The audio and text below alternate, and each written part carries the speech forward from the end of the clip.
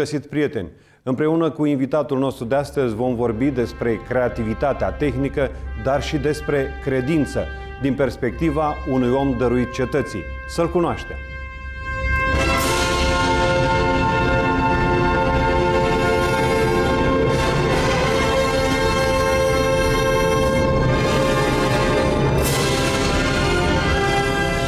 Bine ați venit! Bine v-am găsit. Vă rog, luați loc. Mulțumesc.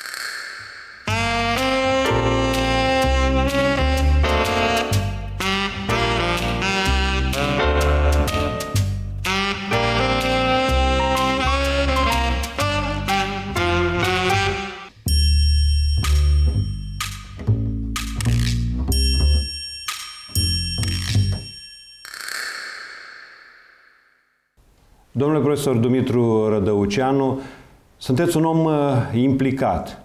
Ați fost și înainte de 1989 și după în această stare. Pentru că eu cred că este o stare ca un uh, specialist performant într-un domeniu să abordeze și problemele orașului, problemele uh, cu care se confruntă comunitatea. Dumneavoastră ați fost în primele rânduri uh, la Revoluție, Da, am în fost chiar balconul acolo. fostei județene de partid. Am fost acolo și era și tovarășul Țigău, care a murit între timp și care l-am sfătuit mai de multe ori și mi l-am făcut dușman și când am văzut că sunt și forțe străine amestecate aici, mi-am dat seama și mi-a spus și tatăl meu, fiii țărâna ușoară, măi, du-te de acolo, că nu-i de tine, pe 10 ianuar, ziua mea de naștere, mi-am dat demisia și am plecat de acolo. Ce ați uh, vrut să spuneți prin forțe străine? Păi și să știi de afară, să mai spun eu, eu vorba, eu spun și spun alții. Estul, vestul și așa mai departe. Dar estul, estul și-o trimis aici o mulțime de a reprezentanți. Pe la Iași, pe la... Pe unde au putut o trecut. Dumneavoastră ați uh, făcut performanță în uh, domeniul uh, proiectării uh, și uh, ați fost părtași, să spunem așa, la dezvoltarea economiei românești uh, din perioada 60-80, când se construia foarte mult, apăreau uh, fabrici uh, și uzine. Da. În multe colțuri ale țării, pe proiecte, există și semnătura dumneavoastră. Există, dar și afară, nu numai în țară. În Corea, în China, chiar și în Germania. Da, uitați-vă, la aceia mai sunt probabil, dar la noi s-au lichidat aproape toate. Chiar zilele astea au fost un uh, reportaj cu Săvineștiu.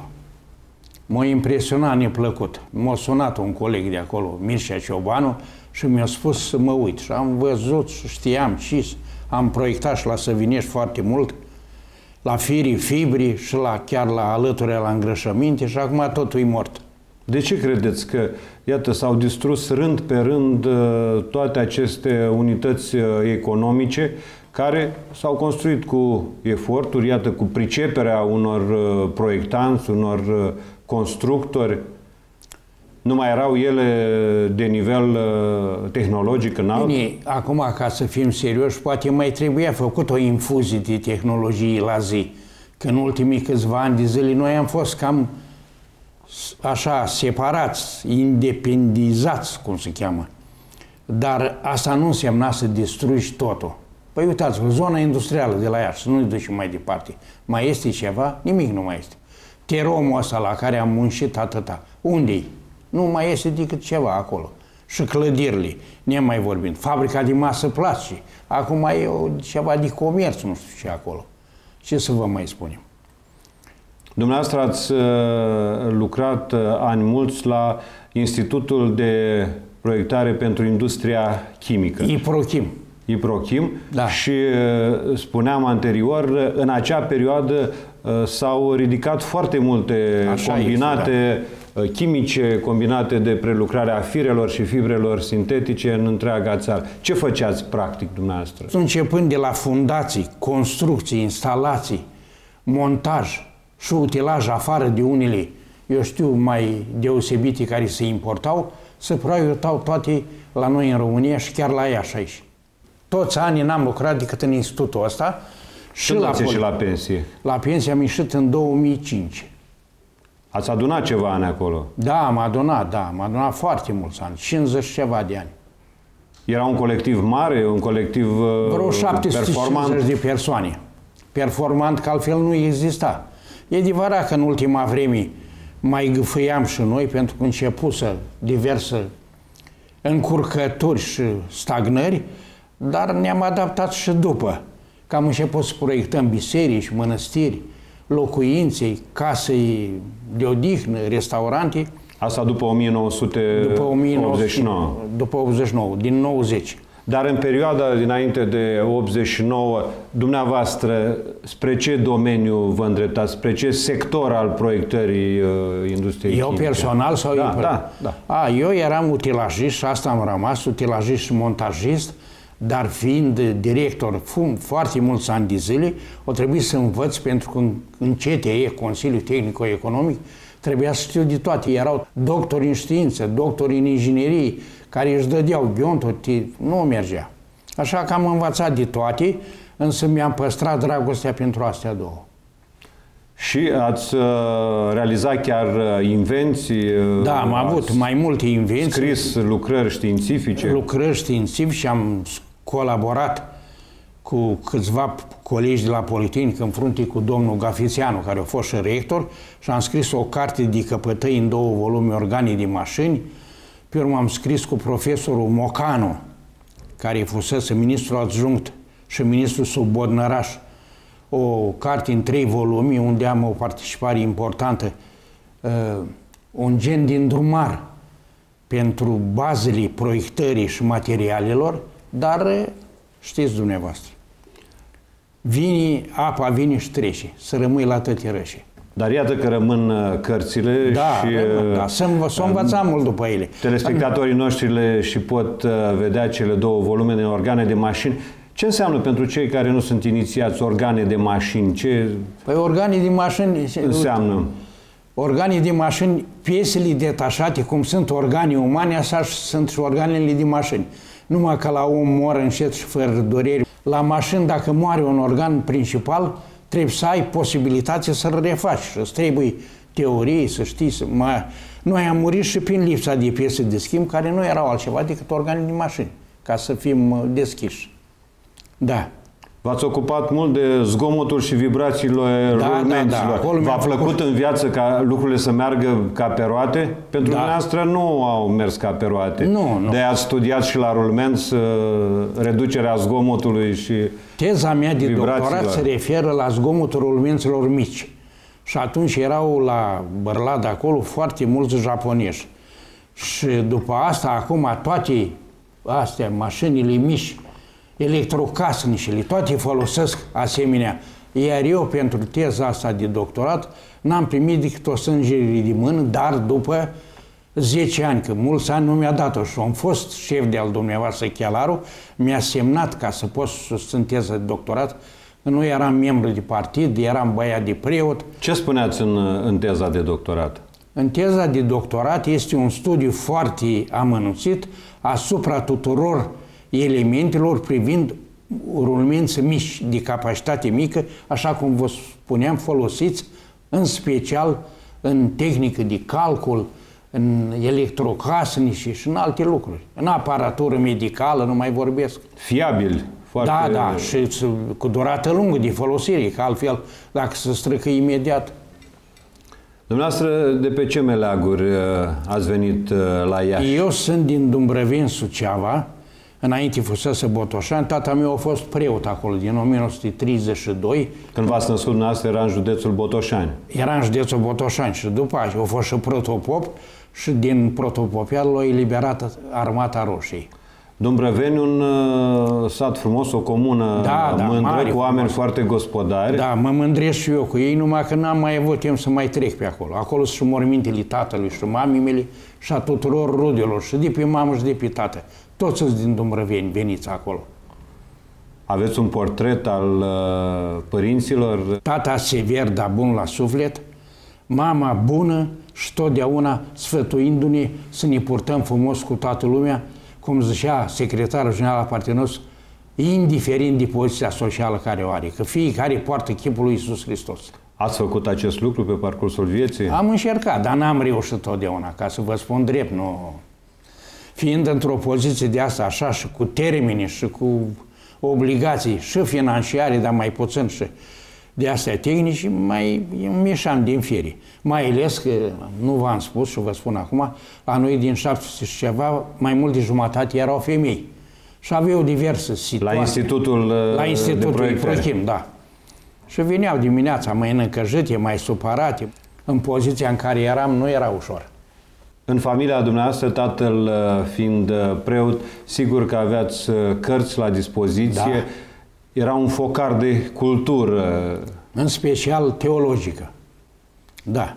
Ei, când am plecat, când ne-am refugiat de acolo, că tata n-a vrut să ducă și l-a sfătuit toată lumea, fratele tati învățător au adus niște basarabeni prinși trecând prutul și i-a spus Părinte, du-te că dacă stai aici te lichidează, că nu vrea să plece. Cu toate că dispoziția mitropoliei și a episcopiei era să plece. Și când au venit, nu au mai găsit multe cărți. Tata a avut foarte multe cărți de la boierul Balș, respectiv Ivan Ghica și Vladimir Ghica, care erau proprietarii moșei Dumbrăveni, unde tatălui Eminescu a fost acolo ani de zile administrator.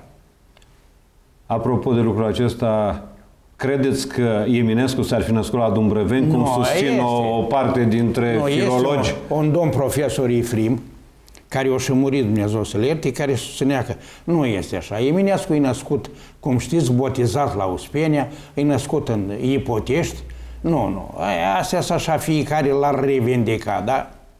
Legătura rămâne însă cu Eminescu prin uh, tatăl său, cum spuneați. Da, da, rămâne, da. Tatăl său era și cu totuși multe din poeziile lui Eminescu scrise, influențat de Dumbrăveni, au fost la Dumbrăveni, la tatăl lui, când trăia străbunica mea, povestea că erau multe scene de astea, iar tatăl lui Eminescu, care venise din Bucovina, de undeva, era foarte respectat și de Bal și de Ghica după aceea, așa că Eminescu venea cu plăcere acolo. Spre ce vă îndreptați? Aveați uh, o formație umanistă din familie. Da, da. Învățătoarea Natalia Bosneanu, care mi-a pus condeiul, creionul în mână, este din neuitat. Toți profesorii sunt importanți și de liceu, și de facultate, și de doctorate, dar învățătorul este din ne... Da. V-ați mai întors în uh, comună să o revedeți după ce ați fost au și student, murit, după ce ați da, terminat da. facultatea? Nu, dar m-am reîntors că atunci când că am dat admiterii la liceul Laurean și erau 242 de, țin minte ca acum, pe 25 de locuri. Mama îi spune, tate, vorbește cu doamna Busneanu să facă niște lecții cu ăsta. Copilul ăsta, copilul ăsta fiind eu, cel mai mare din toți. Și doamna Busneanu a venit la noi și a spus, nu este cazul să... El va reuși fără grijă, n-am și să îi mai spun eu în plus. Și într-adevăr am ieșit pe locul 2 acolo la. Când am terminat eu liceu în 1951, s-a făcut un consiliu de familie. Mama și bunica mea spunea, du-te la teologie, ca ai să fii un mitropolit mare, frumos. Și când l-am întrebat pe tata, tata au spus, măi, eu ca preot nu te pot opri, dar fă cum știi tu, pentru că, uite, Eu fiind preot v-am produs atâtea.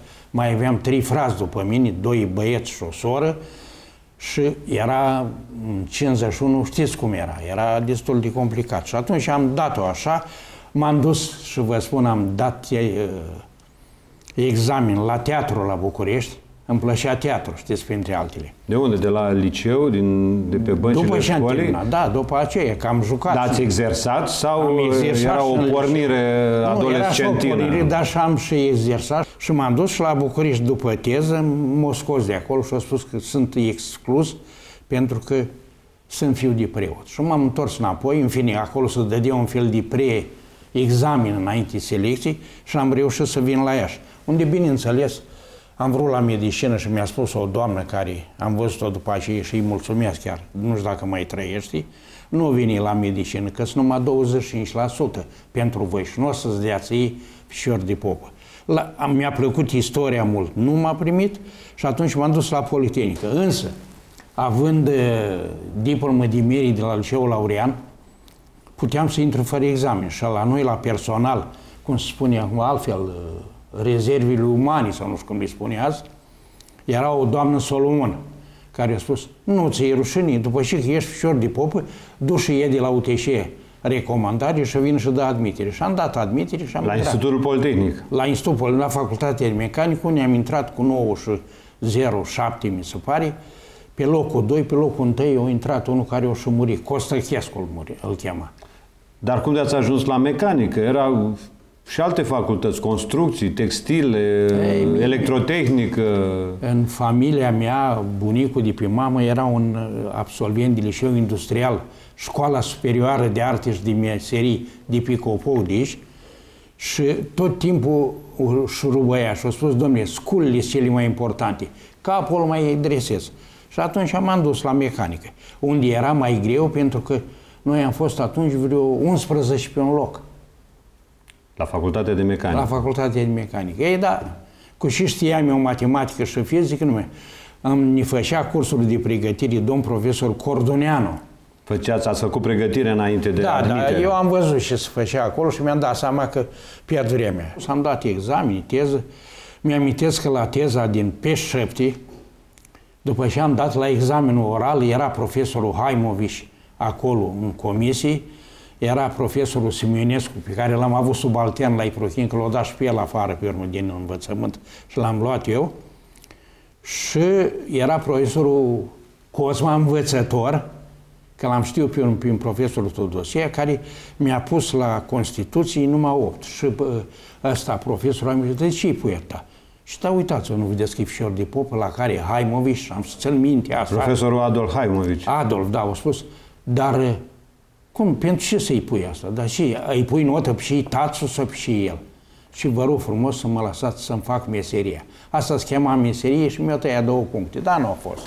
Deci la Politehnică dumneavoastră ați dat examen și la Constituție, nu, nu, Așa se dădea atunci. nu numai la matematică și nu, fizică. nu fizic și matematică, se dădea la limba română, am dat teză de limba română. Nu mai țin minte, erau multe examene, să știți.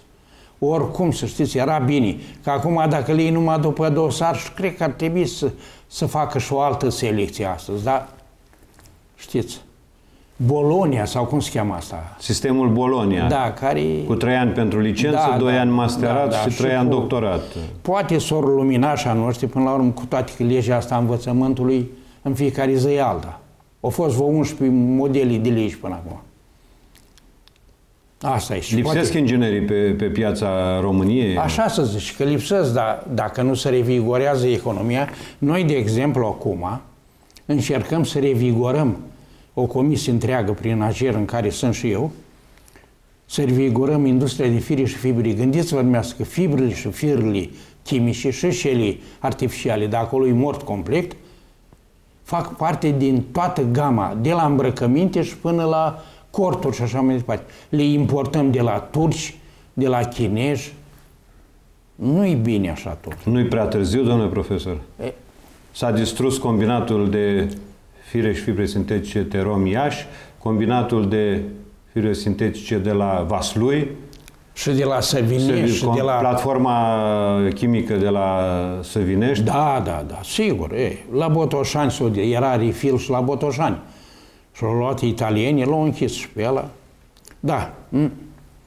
Ce să vă Dar spun? încercați. să- Încercăm să- acum din nou, să facem niște evaluări, să vedem câți bani ne-ar trebui și s-ar putea reutiliza cu toate că și-a fost inoxră, Ciciu s-au au privatizat, o luat și-o dus. Revenind la studiile noastre universitare, Da, vă rog. prin anul 2-3 nu vă părea rău că, iată, situația aceasta socială v-a privat de a urma cursuri la istorie, la medicină sau chiar la teatru? E, Durerea asta de suflet am purtat-o până acum. Și cred că o duc și în mormânt. Dar ați reușit să vă afirmați ca inginer? Da, însă să știți că nu a fost ușor și muncă multă și nimic nu se face pe lumea asta dacă nu faci și treabă. Nu-ți pui corpul la muncă. Aveați educația de acasă, de a Da, vă face da, da. oriunde ați fi, Da. datoria e, cât mai Bunica bine. mea, bunica mea de pe mamă și ea de pe tată, mătușa Elinca și mătușa Emilia spunea, dă-i mâncare corpul și pune-l la treabă. E o înțelepciune Da, populară, bă, dar care este, populară. este valabilă și Da, în ziua da, de azi, în așa e. anul 2016. Ca să fie valabil încă mult. Ce modele ați avut în facultate? Cum erau profesorii? Da, am avut profesori buni. Profesorul Lindi, la care am fost asistent, profesorul Popinceanu, a cărei serie, seria mea poartă numele lui, Nicolae Popinceanu. Nicolae, un om deosebit, să știți. Și el a fost acuzat de legionar, n-a fost, că el și-a dat. Pe urmă, cine a mai fost? Profesorul Gajinski, profesorul Ror, pe care l-a dat afară din învățământ și l-am luat la noi la institut, un cap rar. El era inginer mecanic, fusese ofițer și l-a dat afară și până la urmă i-am învins pe cei de la București cu ROR și am făcut atelier de proiectare tehnologică prin uh, invenția și prin munci, munca lui ROR. Cum vă priveau profesorii pe dumneavoastră, studenții? Cum se purtau? Unii se purtau ca niște părinți și erau apropiați, bineînțeles, până la pregătiri.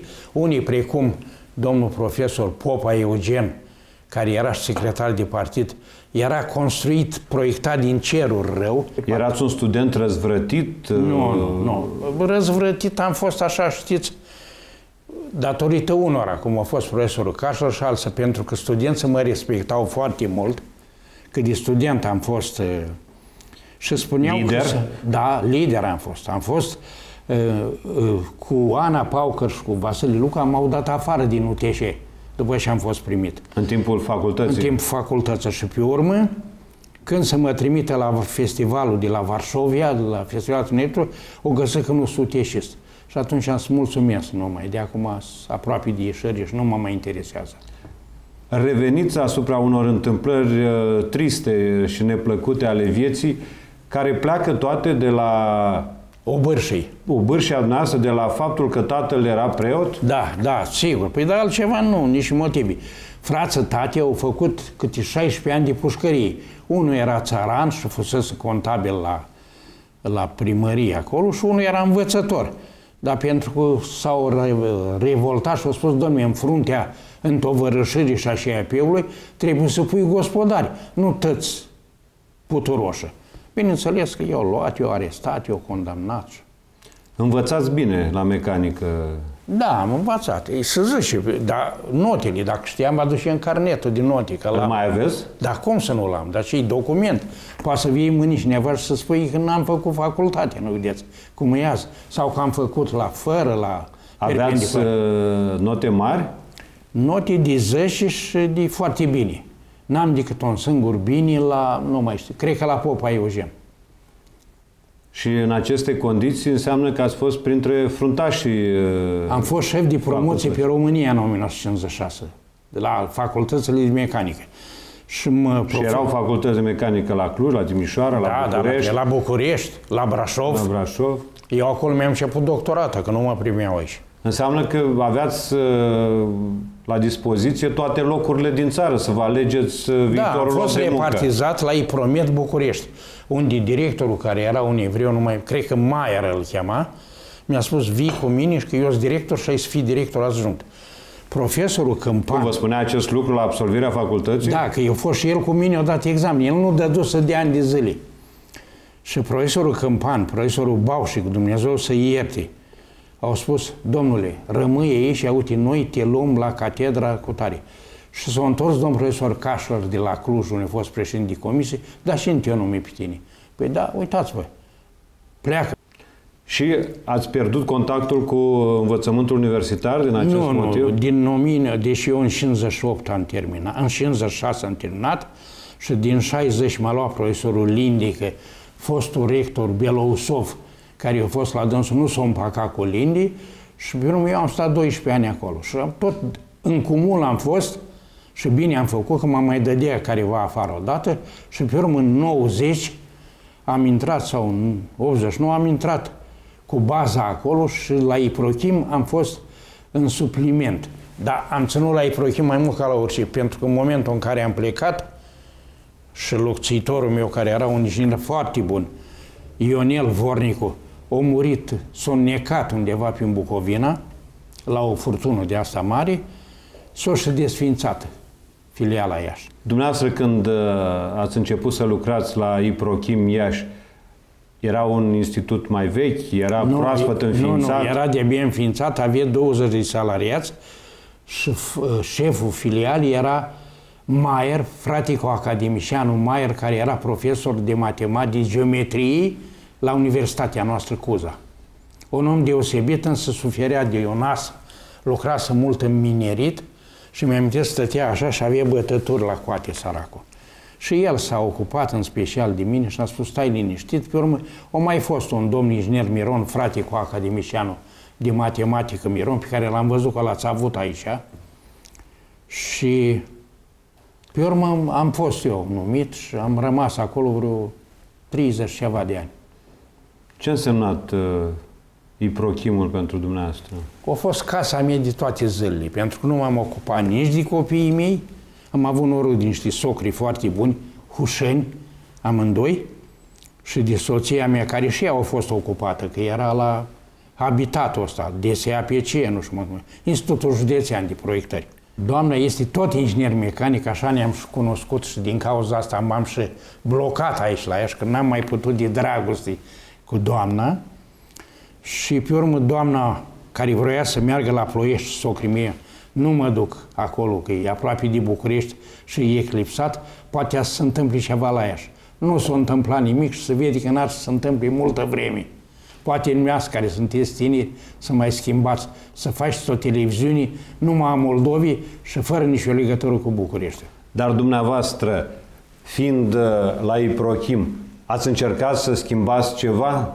Mult am schimbat. Păi da, noi când am venit acolo nu era decât un mic colectiv de rezistență, construcții și atât. Păi eu am avut vreo 32 de arhitecți, eu, institutul, la un moment dat. Însă vreau să vă spun că constructorii se înțelegeau foarte bine între ei, dar arhitecții s-ar și, s-ar și fi pălmuit. Dar cel mai bun arhitect a fost arhitectul Adrian Dolinescu, care o și muri săracul.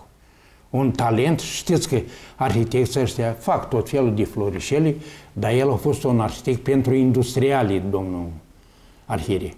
Industrialele aveau un specific aparte, nu îl încarci cu zorzonele. Fiecare cameră și fiecare culoar trebuie să fie funcțional și să aibă o destinație. Altfel, bași bani și... Da.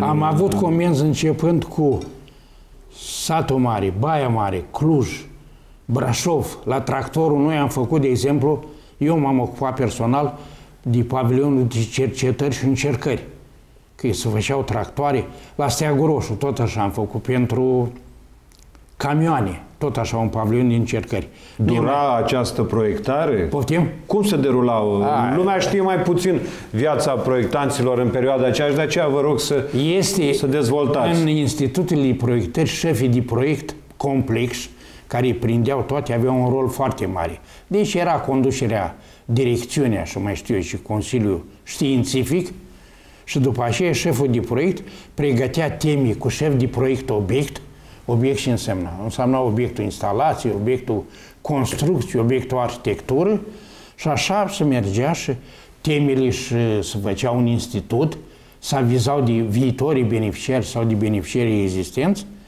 și termenele să luau funcție de complexul și complexitatea proiectului. Începem cu Iașul. De la fundații la masă placi, pavilionul administrativ, hala de producție principală, anexele toate, oxigen, azot, aer comprimat, toate s-au făcut aici la Iași. La combinatul Terom, cum îi spune atunci. Totul s-a făcut la Iași, afară de uh, o singură instalație care era foarte complicată și s-a proiectat cu bucureșteni împreună, că noi n-a, nici ei n-aveau, ei o tras și ei pe unii au putut și am făcut-o și pe aia de acolo. La Terom, de exemplu, a fost foarte important. Canalizarea orașului Iași mergea prin Terom. Puteai merge prin canalizare în picioare. Vă dați seama, pe un teren aproximativ orizontal, să dai o pantă la o canalizare, să greșea ceva, era o comedie. Și intra în Bahlui, în aval de combinat. La fel, de Borzești. La Borzești am lucrat foarte mult. Combinatul chimic Borzești, electroliza de la Borzești. Asta era o instalație foarte importantă. Tehnologia chipurilor venise de la ruși, dar restul tot a fost proiectat de noi de la Iașdeș. Și apropo de situația asta, să lucra extraordinar de greu acolo pentru că să lucra cu deținuți și majoritatea erau deținuți politici, nu știu dacă am voie să vorbesc, și te controlau în fiecare zi, te scoteau din fire, să nu mergi, să nu intri cu asta, pe domnii, nici cu condei, cu compas, cu compasieră, să nu merg. Pe urmă, unde să vă mai spun eu? La Brașov am fost primiți bine, la fabrica de rulmenți Brașov, de exemplu, unde era un ieșan de-a nostru, un boțșănean, le-am proiectat o hală întreagă. Brașov avea tradiții bune în materie de rulmenți. Mulți din uh, specialiștii lor au fost aduși la fabrica de rulmenți de la Bărlat. E, în rest, ce să Ați lucrat uh, și pentru combinatul Sinteza Oradea. Am lucrat și la Sinteza Oradea, foarte mult. Acolo toată mecanizarea la Sinteza Oradea am făcut-o noi.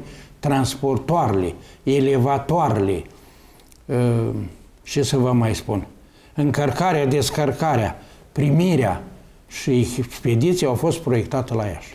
Când vedeați că intră în funcțiune uh, un uh, echipament, o instalație, o hală, era o satisfacție deosebită? E, sigur că da, nici mare. De exemplu, la un din ele, ca să vă spun, a fost și domnul președinte Gheorghe Iudeș la Borzești.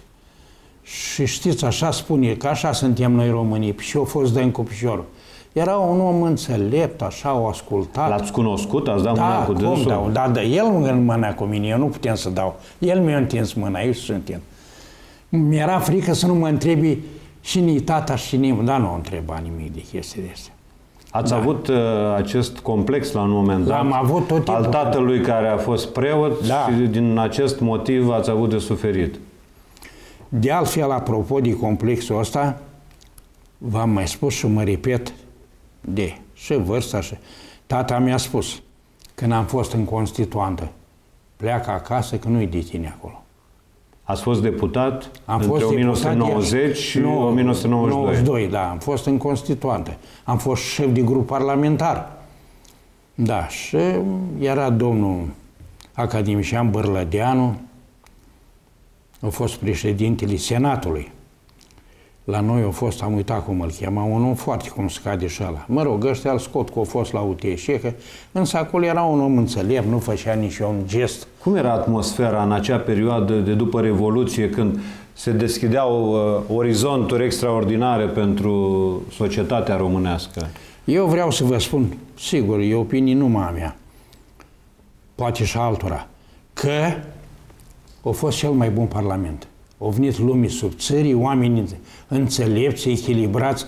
Păi să vă spun, era Staicu de la Iași, eram Deci eu, directorul Ion Staicu de la Terom. De la Terom.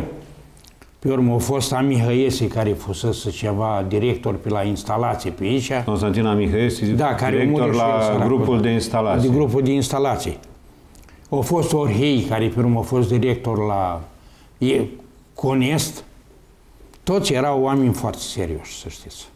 Ați pus uh, bazele Constituției României în acea da, perioadă. Da, da, da. Da, însă să știți că tot ce se hotărea dimineața, eu am fost și în constituantă, chiar în colectiv unde a fost uh, președinte, am uitat cum îl cheamă, un avocat care l-a și exclus până la urmă, așa de la țărăniști, și după masa se mergea la domnul Iliescu, unde vinea și domn Petri Roman. Acum ei nu mai știe ca să vorbesc oltenești tot, dar erau implicați tare. E criticată Constituția, dar totuși noi eram un stat nestat, că nu aveam legea noastră fundamentală. În Vă fel, vedeați primarul Iașului? Eu cred că aș fi putut să fiu, că nu veneam din uh, ceruri. Eram din târgul ăsta, eram legat, am făcut... Eu nu vă spun și eu fost la cu tremur. Manciuc, eu am fost folosit de Manciuc drept consilierul lui în toate. Lărgirea unor străzi, nu și s-a făcut numai cu noi, cu mine și cu Manciuc. De exemplu, la gară, eu am cerut când s-a demolat să facem și mai. Uitați ca cu ingust. Ioan Manciuc, primar al Iași. Da, da, era un om deosebit, să știți. Da. Dumneavoastră erați implicat, spuneam și la începutul discuției, în viața orașului. Uh, doreați să, să construiți alături de, de ceilalți intelectuali, de ceilalți membri ai comunității, un Iași modern, un Iași puternic, un Iași care să fie Un Iași al oamenilor, domnule. Un Iași al oamenilor, nu al nu știu care. De ce v-ați uh, atașat atât de mult de Iași? Dumneavoastră veneați de la Dumbrăveni, adevărat, o zonă, cum spuneam, cu, cu reverberații culturale. Vedeți, dumneavoastră, fiecare pământ are un vin în coașă, un dute vină. Iașul ăsta, de altfel nu sunt singurul care și dumneavoastră am impresia că v-ați lipit de Iași și mulți alții, mulți care au venit aici nu au mai plecat. Așa și eu. Ca să-mi fac acum un remember și să zic, domnule, de ce motive anume, în primul rând mi-am făcut școala aici. Școala superioară. M-au primit, m-au rănit, m-au... După aceea, aici m-am îndrăgostit și am făcut trei copii, nu patru. Am zis patru greșit. Aș fi vrut patru, dar nu s-au putut. Și pe urmă am zis, domne, aici stau și nu mă mai duc din Am avut o ocazie, eu am fost în Statele Unite, unde mi-am dat și un doctorat și mi s-a propus. Și seara, era Sfântul Dumitru atunci, m-a sunat tata din România. Și mă întreba să mă feliște și faci și când vii acasă. Asta în ce an se întâmpla? Prin 70 uh, ceva, cred că. Și tatăl noastră a cutezat să vă sune în America, a reușit. Da, o putut. Eu, eu dat telefon. Cred că a fost cu intenții, probabil. Și zice, nu cumva ai de gând să nu vii? Nu, zic, uite, îmi propun ăștia, dar nu. Și că, într-adevăr, meu, știi, idei. Era o echipă mare cu care am fost. Și când am venit aici, m-au controlat și m-au socotit și m-au întrebat câțiva ani buni. Era unul la securitate care l-am tot știut și pe urmă și-a angajat și fata la noi și tot să-i merg. Domnule, ce să-ți mai spun ceva? Dacă n-am rămas și am venit înapoi, ce mai vrei? Atât și gata. Cât ați stat în America la aceste cursuri de perfecționare? Șase luni și vă, 30, vă 28 de zile. Pe ce segment de activitate? Fibri sintetice vaslui. Am făcut fabrica aceea care era cea mai modernă. Și de la viteze de fir de 100 și ceva de metri pe minut, am ajuns la câteva mii. Acolo v-ați instruit ca să puteți da, da, da proiecta da, fabrica da, de să putem proiecta. Și am proiectat-o. Erau și ei încântați de ea. Au vrut să o-și cumpere la un moment dat. Ei, acum nu mai rămas nimic din ea. Cum uh, erau americanii în vremea aceea? Cum se purtau cu dumneavoastră ca români? Știau ceva de țara noastră? Știau foarte multe. Însă americanii ăștia, știți, și câțiva erau chinezi, vă doi erau nemți, directorul general de la firmă era un evreu european, N-aș putea să spun care era mea. Iar unul care s-a ocupat de noi știau lea că era un armean din Constanța care lucrase la Iprochim și să repatriase chipurile în Statele Unite. De atunci și până astăzi v-a părut vreodată rău că nu ați rămas în Statele Unite ale Americii? În 90 atunci mi-a părut bine că am, n-am rămas. Acum, dacă m-ați întrebat să fiu sincer, parcă îmi pare rău că n-am rămas. Cu toate că cel mai bine e la pământul tău. De unde ai ieșit, acolo să stai, da? Să sperăm că speranța este rațiunea existenței, că va fi mai bine și la noi. Dumneavoastră care sunteți tineri, care ori mai fi după noi, cu noi, poate ori face să fie bine. Istoria, tradițiile noastre ar trebui să dea imbold generațiilor uh, tinere. Dumneavoastră v-ați implicat și în viața culturală, ați fost la curent cu, cu tot ce s-a întâmplat, uh, ați citit mult. Citesc și acum, acum citesc mai mult decât uh, înainte, când nu puteam atac, mai veneam și obosit. Și vreau să vă spun, observați că noi suntem un oraș de graniță și în loc să ni se lege legături, de exemplu autostrada asta, eu dacă aș fi fost în locul lui domnul profesor rus de la Cluj, ca să mă dau român și adevărat, făceam prima, să fi început autostrada Iași, ă, Târgu Mureș, Chișinău. Altfel, cum vrem să-i aducem și pe aceea, când aceea văd că nici la noi nu-i mare diferență cu ei. Și multe altele. Iașul ar fi să... De altfel, eu vă spun, Iașul tot scăzut de la Cuza. Vezi, toată lumea îl laudă pe Cuza. Cuza a fost un uh, inițiator de multe legi bune, foarte multe. Pompieri, nu știu mai care făcute, poliții. Dar ca să-i fie liniști, o tăcut și o lăsat bucureștenii. A fost vorba de curtea de casație, nu? Cu pun la... Cu, unde? La Focșani. O mai nu au mai pus nimic. Dar mediul intelectual, de ce nu se implică în viața politică mai pregnant, mai activ? Aici îmi pare rău, dar vă dau dreptate. Sunt oameni valoroși în toată România asta și în special aici în Moldova, dar stau rezervat, stau, nu vedeți dacă te bagi mai mult, zgârii pe unul, zgârii pe altul, te găsești că nu știu ce ai făcut. Universitățile astea două au mai multe parale decât are bugetul municipalității. Și ar trebui să aibă un cuvânt greu de spus. Iar eu, dacă aș fi să fiu primar sau ceva și, și nu mai vreau și nu se mai poate, mi-aș face un, un echipaj de consilieri din oameni cu multă experiență, valoare intelectuală, oameni culți, nu puși de ăștia de ieri pe azi. Nu ați uh, reușit să deveniți cadru didactic la terminarea studiilor universitare, dar ați făcut acest lucru după Revoluția din 1990. Da, da, da. V-a plăcut, ați dorit să comunicați cu generațiile tinere? De ce, până la urmă, ați trecut și la catedră? Tatăl meu a fost asistent la Facultatea de Teologie de la Cernăuți. Era universitate mare acolo, care când au venit rușii, au plecat de acolo. Și pentru că a fost ținut că bunicul meu, Costache Rădăușeanu, a murit ă, de vreme, l-a ținut primăria satului acolo la școală. Și i-a spus, părinte, da, ai terminat, e și vin și-a venit preot în satul lui.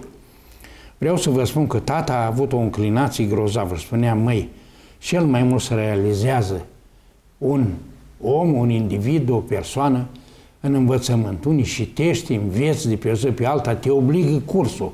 Nu poți să predai același curs 30 de ani cu foi galbene, cum era la noi un profesor, vine cu niște foi jerpelite și nu mai înțelege nici el să scrie.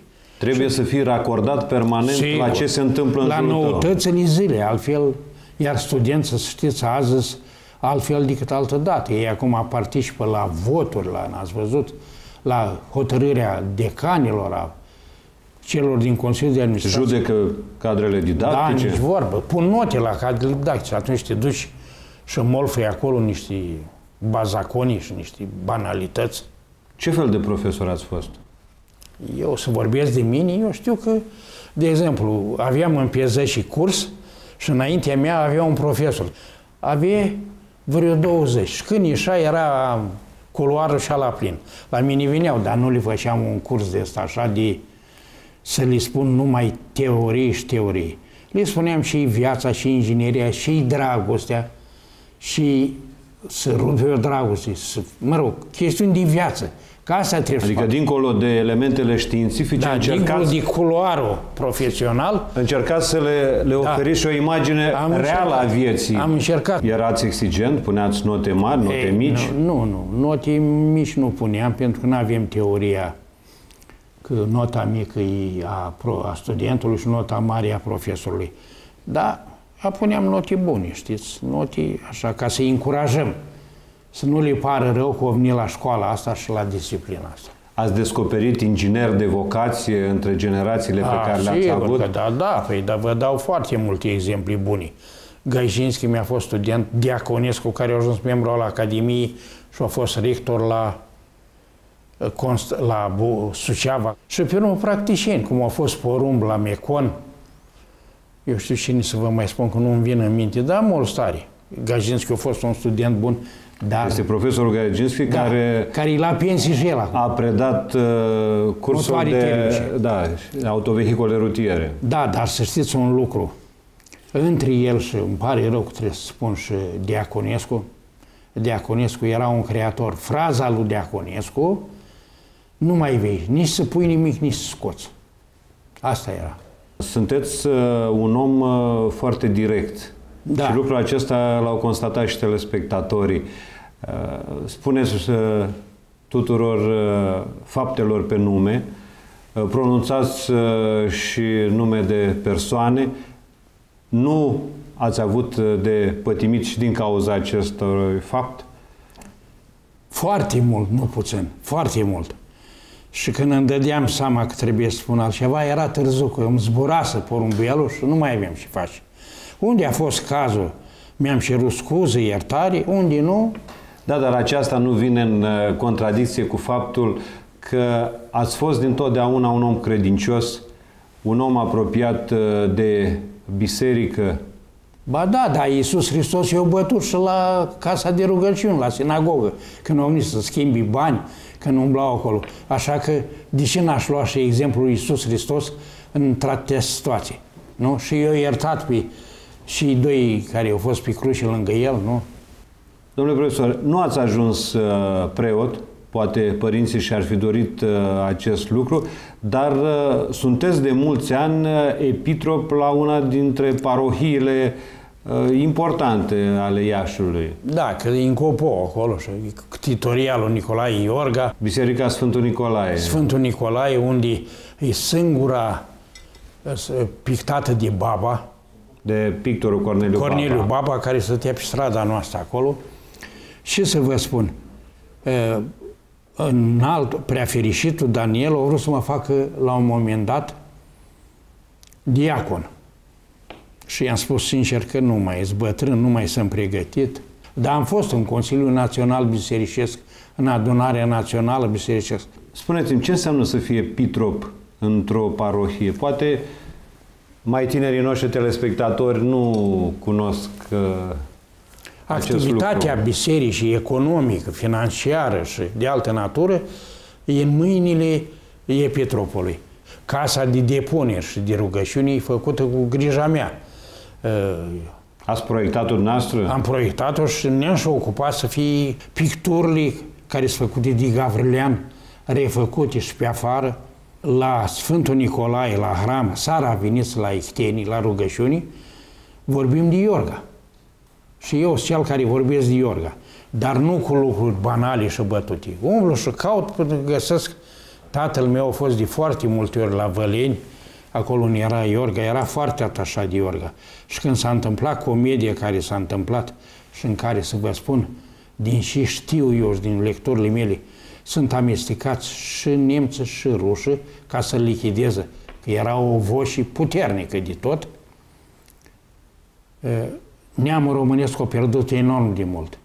Iar Academia Turcă de Știință a spus, domnule, trebuie să ne-l dați nou, sunt documente. Cea mai frumoasă și mai largă și mai adâncă istoria Imperiului Otoman e scrisă de Iorga.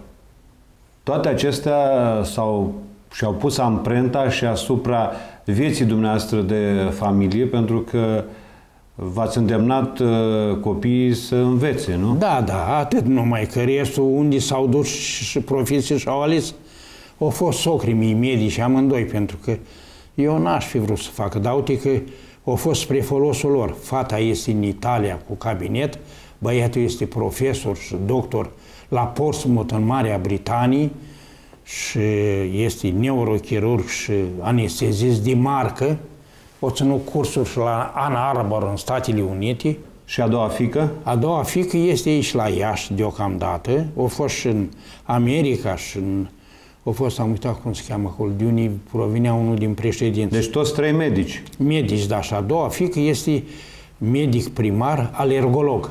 E important ca părintele să fie un exemplu pentru copii. Nici vorbă, trebuie să fie model. Totdeauna. Și eu am avut modeli, părinții mei și alții și la rândul meu am vrut să fiu model. Dar nu prea am fost, ca să vă spun drept. Dacă tot ziua am fost ocupat și soția și acum am reproșat. Dar poate și acest travaliu, această dăruire în activitatea profesională și performanțele pe care le-ați avut uh, la institut sau la facultate înseamnă un model, înseamnă... Da. Aș vrea să vă întreb în încheiere uh, dacă originea noastră socială, care v-a creat atâtea dificultăți în viață, nu v-a făcut să vă deziceți uh, și mental chiar de tatăl care a fost preot? Nu, m-am mândrit și asemenea mitropolitul Plămădeală care vorbea de Gheorghe Asache, am fost mândru cu tata meu a fost preot. Chiar dacă erau momente foarte grele. Că vă spuneam și altă dată, tatăl lui Gheorghe Asache a fost preot și un specialist în matematici renumit și cartea care s-a editat de câte mitropolit a fost găsită în podul de la mitropolia de la Sibiu, Ciornile și-au îngrijit-o mitropolitul cu un matematician de la Universitatea de acolo și au apărut. Deci, eu, fără să știu cine a fost și era Gheorghe Asache, mă rog, știam că e patronul școlii mele, m-am mândrit. Iubirea părintelui este necondiționată. Da, nici, nu, nu, nu, n-am, n-am, aș supăra memoria tatălui și pe Dumnezeu dacă aș judeca altfel.